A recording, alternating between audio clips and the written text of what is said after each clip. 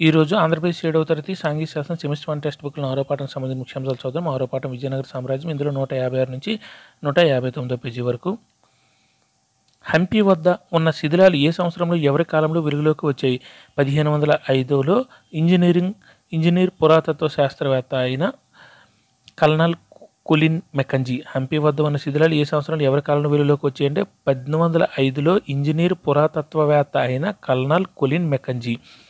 English East India company ఉద్యోగి మరియు మొదటి భారతీయ surveyor general colonel Colin Mackenzie English East India company ఉద్యోగి మరియు మొదటి భారతీయ surveyor general colonel Colin Mackenzie Vijayanagara రాజులు మరియు మదురై సుల్తానుల మధ్య పోరాటం ఎన్ని దశాబ్దాలుగా కొనసాగింది? నాలుగు దశాబ్దాలు.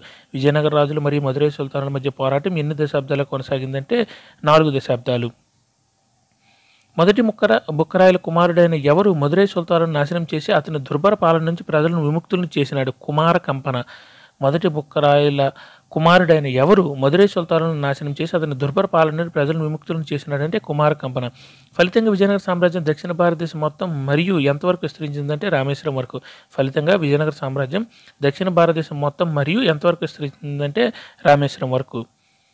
ఏ ప్రాంతాలపై వివాదం విజయనగర రాజులు మరియు బహుమని సుల్తానుల మధ్య సుదీర్ఘకాల సంఘ సంఘర్షణలకు దారితీసింది కృష్ణా మరియు తుంగభద్ర నదుల మధ్య ప్రాంతం మరియు కృష్ణా గోదావరి డెల్టా యొక్క సారవంతమైన ప్రాంతాలు ఉన్- ప్రాంతాలపై ఉన్న రాయచూరు దోహాబ్.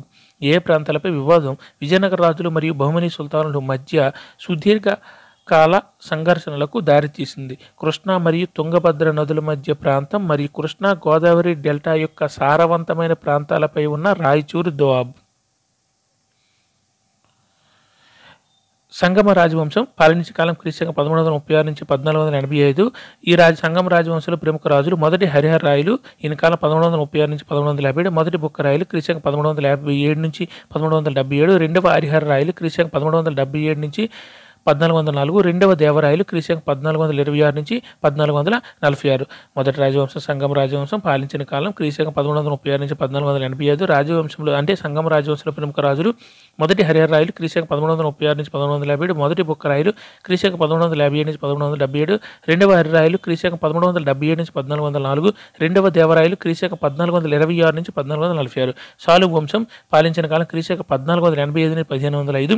రాజవంశంలో ప్రముఖ రాజులు సాలువ నరసింహరాయలు క్రీస్తు పద్నాలుగు వందల ఎనభై ఐదు నుంచి పద్నాలుగు వందల తొంభై ఒకటి. సాలువ వంశం పాలించిన కాలం క్రీస్తు పద్నాలుగు వందల ఎనభై ఐదు నుంచి పదిహేను వందల ఐదు. సాలువ నరసింహరాయలు ఈ రాజు సాలువ వంశంలో ప్రముఖ రాజు. ఈయన కాలం క్రీస్తు పద్నాలుగు వందల ఎనభై ఐదు నుంచి పద్నాలుగు వందల తొంభై ఒకటి.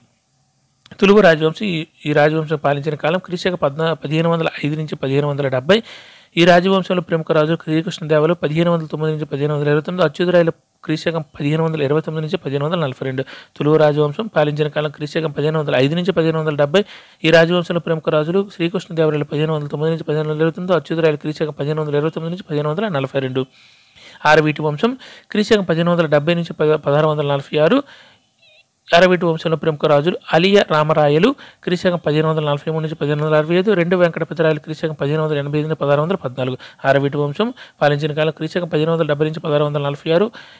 ఈ రాజవంశంలో ప్రముఖ రాజులు అలియ రామరాయలు క్రీశాకం పదిహేను వందల నలభై మూడు నుంచి పదిహేను వందల అరవై ఐదు రెండు వెంకటపతిరాయలు క్రీశాకం పదిహేను వందల ఎనభై ఐదు నుంచి పదహారు వందల పద్నాలుగు. సంగమ రాజవంశంలో గొప్ప పాలకుడు యోధుడు మరియు పండితుడు రెండవ దేవరాయలు. సంగమ రాజవంశంలో గొప్ప పాలకుడు యోధుడు మరియు పండితుడు రెండవ దేవరాయలు. ఎవరిని ప్రౌఢ దేవరాయలు అని కూడా అంటారు? రెండవ దేవరాయలని ఎవరిని ప్రౌఢ దేవరాయలు అని కూడా అంటారంటే రెండవ దేవరాయలని కళింగ సైన్యాన్ని ఓడించిన వాడు రెండవ దేవరాయలు. కళింగ సైన్యాన్ని ఓడించిన ఎవరంటే రెండవ దేవరాయలు. కొండవీటిని స్వాధీనం చేసుకుని రాజమండ్రి వరకు తన అధికారాన్ని సుస్థిరం చేసిన వాడు రెండవ దేవరాయలు. కొండవీడిని స్వాధీనం చేసుకుని రాజమండ్రి వరకు తన అధికారాన్ని సుస్థిరం చేసిన వాడు ఎవరంటే రెండవ దేవరాయలు.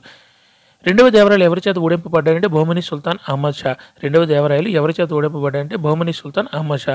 ఎవరి మరణం తర్వాత సంగమ రాజవంశం బలహీనపడిందంటే రెండవ రా- దేవరాయల తర్వాత.